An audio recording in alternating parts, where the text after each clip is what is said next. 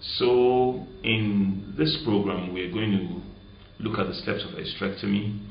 This hysterectomy is performed for a 46-year-old woman who came in with a complaint of abdominal enlargement and about a six-month history of heavy menses.